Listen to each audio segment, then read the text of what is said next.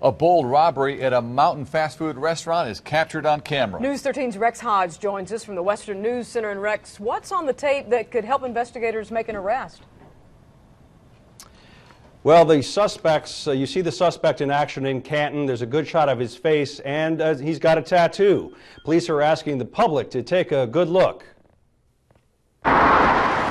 From the surveillance tape taken June 30th at the Canton McDonald's on Champion Drive, detectives can see the employee coming in and placing her purse in a corner. Around midnight, they say this man scoped out her bag, staying on the phone a long time, then making his move, swiping her wallet from her purse. Most crimes are, you know, from opportunity. Detective Brad Shirley says the employee realized she'd been robbed when her shift ended around 3 a.m. Subsequently used her checkbook and credit card at several locations in Waynesville and Asheville. She notified her bank. They told her the card had been used in um, at the Travel America. We don't have much of it around here.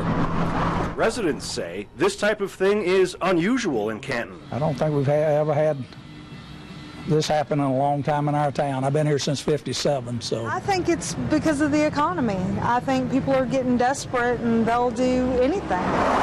With few leads, investigators are looking to the videotape, I think that'll be a big help. especially since the camera captures his face and more. The biggest um, identifying feature we, we saw was the tattoo on the back of his calf. Kind of looks like a cross. Between the picture and the uh, tattoo, I think we'll have a pretty easy time identifying it. On Main Street, they're taking note. Somebody will know who he is. If you do something you're not supposed to, then you get caught and you have to pay for it. Some lessons also. Keep your uh, purses um, well hidden and secured. Hope they find him. And if you have any information, contact the Canton Police Department. Reporting live tonight from the Western News Center, Rex Hodge, News 13.